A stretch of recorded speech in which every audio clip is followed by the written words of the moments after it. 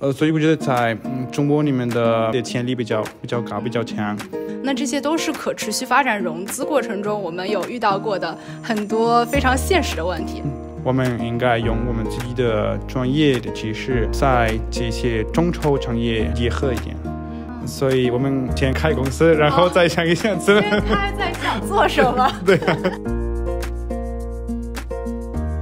Hello，大家好，今天是 Spark for Spark 的第十一期，相当于是我们已经进入到一个新的阶段了。呃，也是非常感谢大家一直以来支持，然后关注我的频道。今天请到的朋友是 Jorge，也是我的燕京学者同学，他真的非常厉害，有自己的 startup，然后也是光伏领域的专家。所以我们今天就请 Jorge 来先做一下自我介绍吧。好，谢哪里哪里。所以我是我西班牙有名字叫 Jorge，但是我中文名字叫李卓，所以你可以这样啊、叫我。啊、谢谢你邀请我呃参与这个这些期边。我是墨西哥人，我是个墨西哥的新能源工程师。我的我关注啊、太阳能，还有风风能，还有其他的清洁能源啊、这是我的本科学习。然后我在清华大学啊、学过一个国际关系的项目。啊，最后一个在北大啊，在学习这个啊经济啊学堂的项目一个硕士。今天我想跟你们介绍一点，就是这个话题叫太阳能的众筹。啊，有可能你们听说过这个众筹，这是个啊受到竞争的一个方式啊，但是这个是一个创新的方式。如果说传统的话，你可以再想一想一个银行。啊，提供一个啊贷款，所以从银行啊借款，但是有可能你在安装一个啊光伏光伏啊太阳能的的系统啊呃遇到一些预算的困难、预算的问题，所以如果你的预算不足啊，还有你从这个银行借款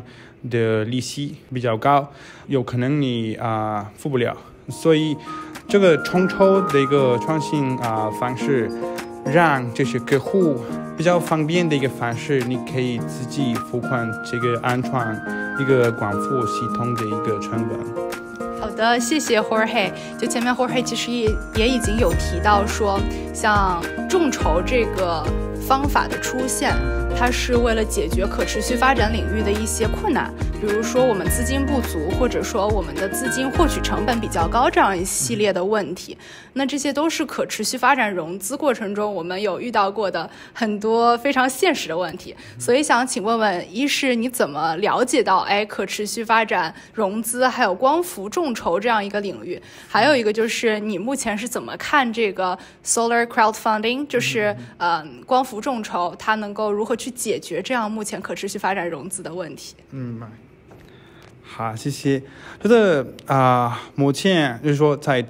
我在墨西哥啊、就发现这些问题，但因为我在这个太阳能的产业啊、呃、差不多两年工作了，但是我到中国以后啊、才发现，在这个这个地方，你们有好多的这个太阳能的啊、呃、解决方案啊、呃、提供商，所以你们的这些公司这些企业有好多。所以你们的价格就是安全价格，还有这个光伏呃系统的，还有光伏呃设备的一些成本比较低，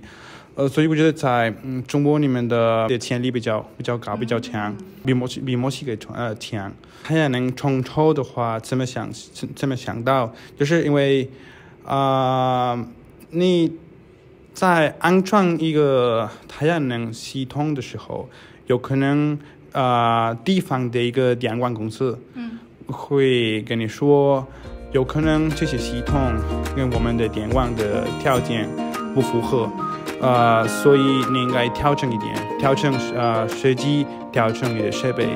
还有你有可能你得投资，投资啊、提升这个地方阳光的的条件，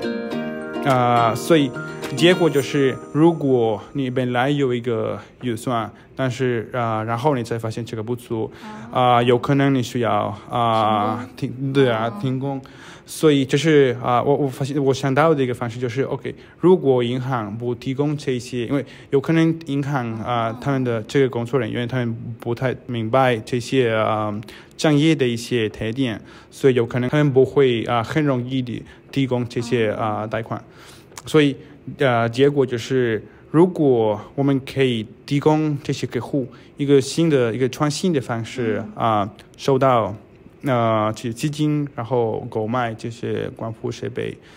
那可以啊、鼓励这些产业，也可以鼓励新能源的发展的啊、快速。嗯，所以我可以认为这是一个就是去支持 SME，还有就是支持像个人他们去获取这种 affordable 的 solar power 一种方式，是吗？对啊，对啊，对啊，你说的对。这这些啊、不是电站，但是他们是小型的一些啊、安全规模。在中国，如果你想自己安装你自己的这个光伏系统，这个应该不超过二十兆瓦的一个装机容量。当然，这些客户都是啊、著名的客户，还有啊、商业的客户，但是不是工业的客户。啊、也有，比如说在中国有好多这个农村项目，所以有可能这些农村的一些家庭，他们都安装他们自己的光伏系统，为了提供他们的收入，还有啊、进步他们的生活水平。嗯哼。这个好重要啊！对于未来可以拥有一个更加普惠的、更加 everyone 都 affordable 的这个清洁能源，然后同时也是对于像你说农村地区可以通过并网去获得更高一些收入、额外收入吧，这也真的好重要。嗯哦然后我知道你也有成立自己的创业公司，想要在 solar crowdfunding 这个领域去做出一些改变。然后我想请问一下，你是怎么想到去用创业的方式解决这个问题？然后你们现在是创业到哪个步骤了？好，谢谢。啊、我觉得我在墨西哥刚刚毕业后，我跟两个伙伴，所以我们三个人再想一想啊、我们好像开一个公司，所以我们先开公司，然后再想一想怎么。先开在想做什么？对啊，呃，但是我们发现那那个时候这些啊、联合国的啊、可持续目标。对，可持续发展目可标哦对啊，可持续发展目标变得很很火，很有名，所以我们呃想一想哦，如果我们开了一个关于这些联合国的目标的一个平台，有成功的可能性比较高，所以我们开了，但是那个时候我们。啊、不太清楚，呃，这些啊，众筹的这个产业啊，这、有呃什么规定，有什么对啊有限的一些一些地方，所以我们用了两年，好好准备，对啊，这个网站、这平台在墨西哥相关的一些组组织来考核你的你的平台、你的平台的啊可靠性、你平台的这些啊安全性，所以我们用了两年好好准备这些，然后我跟这两个伙伴儿再想一想，OK。那现在我们有这些啊、差不多两年的一个经验，我们发了